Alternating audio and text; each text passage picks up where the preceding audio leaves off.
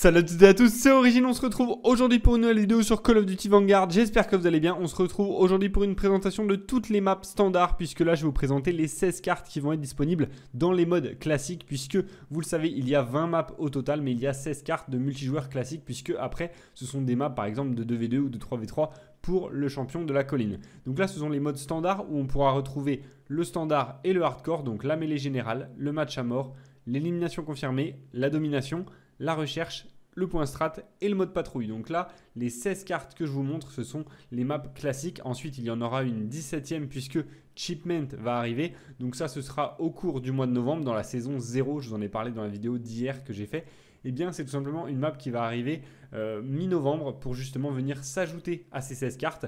Donc en tout cas voilà, ça vous permet de découvrir un petit peu. On en connaît certaines forcément avec la bêta, mais j'espère que cette petite présentation, même si je pouvais pas trop agrandir parce que la qualité des photos n'est pas exceptionnelle, mais du coup voilà, j'espère vraiment que cette petite vidéo de présentation vous aura plu. N'hésitez pas à me dire la carte que vous préférez au vu justement de la miniature. Je vous dis à très bientôt pour de prochaines vidéos et jouez bien